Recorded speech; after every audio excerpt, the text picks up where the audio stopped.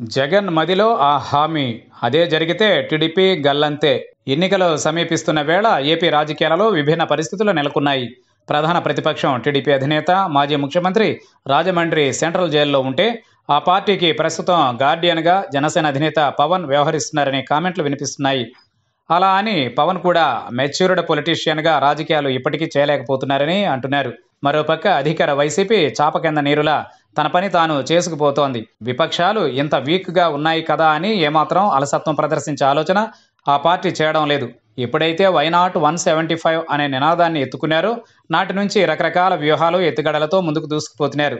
ఈ క్రమంలో తాజాగా జగన్ మదిలో మరో ఆలోచన ఉందని అది బ్రహ్మాండంగా సక్సెస్ అయ్యే అవకాశాలు ఉన్నాయని అంటున్నారు. వాస్తవానికి జగన్ తొలిసారి ముఖ్యమంత్రి అయినప్పటికీ చెప్పాడంటే చేస్తాడంతే అనే పేరు సంపాదించుకున్నారన్న అతిశయోక్తి కాదు. కరోనా కష్టకాలంలో జగన్ అమలుపరిచిన సంక్షేమ పథకాలు ఎక్కడా ఆగకుండా సాగిన నగదు బదిలీ కార్యక్రమాలు జగన్పై సామాన్యుల్లో నమ్మకం పెంచాయనే కామెంట్లు వినిపిస్తున్నాయి. పైగా రెండు వేల పద్నాలుగు ఎన్నికలలో టీడీపీ మేనిఫెస్టోలో ఇచ్చిన హామీలకు చంద్రబాబు సర్కార్ అమలు చేసిన నెంబర్కు ఏమాత్రం పొంతన లేదని ఆఖరికి మేనిఫెస్టోను కూడా దాచేసిన పరిస్థితి అనే కామెంట్స్ వినిపించిన సంగతి తెలిసిందే. ఈ నేపథ్యంలో జగన్ సర్కార్ మాత్రం ఇప్పటికే తొంభై శాతానికి పైగా హామీలు అమలు చేసినట్లు చెబుతున్నారు. ఈ నేపథ్యంలో జగన్ మదిలో రైతు రుణమాఫీ అనే ఆలోచన వచ్చిందని సమాచారం.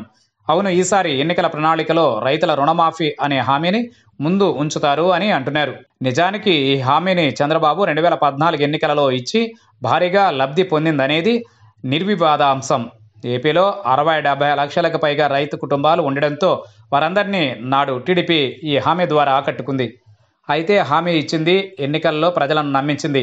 ఫలితంగా లబ్ధి పొందింది కానీ అధికారంలోకి వచ్చిన తరువాత నాడు ఎనభై ఏడు వేల కోట్ల రైతు రుణాల మాఫీ ఉంటే ఐదేళ్ళలో కేవలం పాతిక వేల కోట్ల రూపాయలు మాత్రమే మాఫీ చేసిందని వైసీపీ తీవ్ర స్థాయిలో విమర్శిస్తూ ఉంటుంది. తాము మాత్రం అలా కాకుండా ఇచ్చిన మాటకు కట్టుబడి రుణమాఫీ చేస్తామని చెబుతూనే గతంలో వైఎస్ జగన్ ఈ హామీ ఇవ్వలేదని గుర్తు చేస్తున్నారు.